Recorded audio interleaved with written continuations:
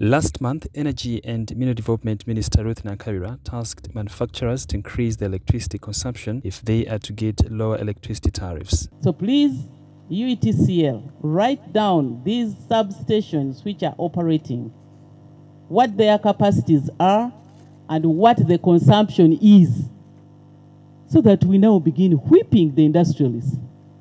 The representative of the chair of uh, Uganda Manufacturers Association, I think you're hearing this.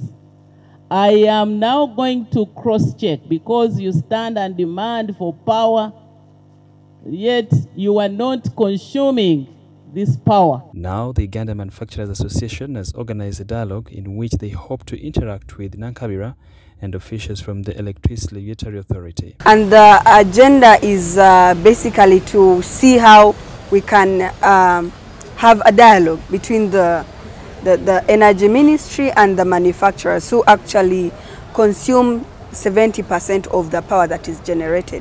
We want to find a win-win situation whereby we increase uptake of energy that is produced. Some of the crucial points of the agenda that are expected to inform discussions is how manufacturers can leverage the current electricity regulatory environment to achieve the desired tariffs. If you looked around, uh, people are not purchasing as much as they used to. And uh, what does that mean? That means that manufacturers will produce items and they will not be able to sell them as expected.